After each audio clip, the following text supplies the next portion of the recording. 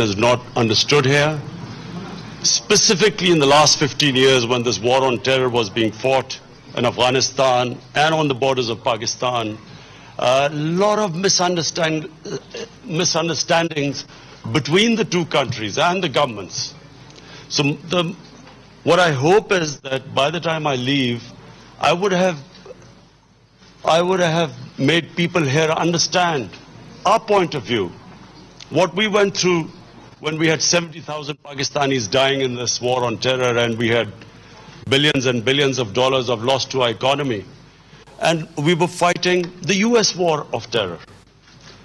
Because uh, Pakistan had nothing to do with 9-11 uh, or had Al-Qaeda was in Afghanistan.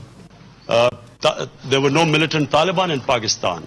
But we joined the US war. And unfortunately, where things went wrong, and I, where I blame my government, that we, we did not tell the US exactly the truth on the ground. Part of the reason was our governments were not in control. There were 40 different militant groups operating within Pakistan. Uh, so Pakistan went through this period where people like us were worried about that will we survive it.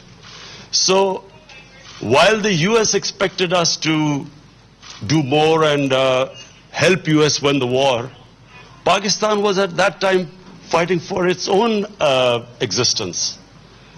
So um, it's important that uh, it was very important that I met President Trump. I met uh, uh, Secretary Pompeo, and we have explained to them that the way forward is number one, the relationship has to be based on mutual trust. And trust me that I will be telling the truth. Mm. I will be telling the US what we can do in this peace process. Pakistan is now trying its best to get the Taliban on the table to start this dialogue. And so far, we have done pretty well. But it's not going to be easy. Do not expect this to be easy because it's a, it's a very complicated situation in Afghanistan. But rest assured, we will be trying our best. The whole country standing behind me. The Pakistani army, the security forces, all are behind me. We all have one object, and it's exactly the same objective as the US, which is to have a peaceful solution as quickly as possible in Afghanistan. So, so I would, uh, I would finally like to say that I hope from now onwards, uh, you know, our relationship was on a different level. Uh, it was painful for us to watch this mistrust between the two countries.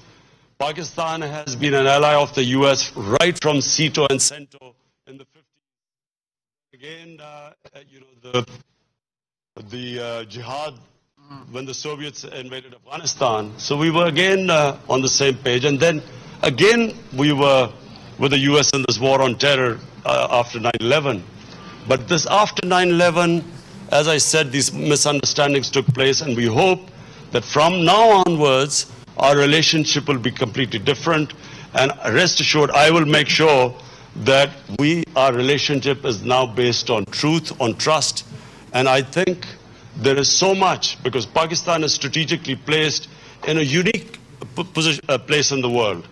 It has uh, two of the biggest world markets on one side, energy reserves on the other. It's a, it's a key uh, position.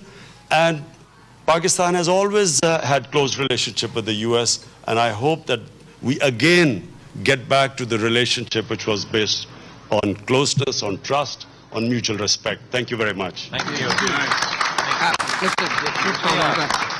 Ladies and gentlemen, uh, we are now making a presentation to the Prime Minister. Would you bring the uh, presentation over, please?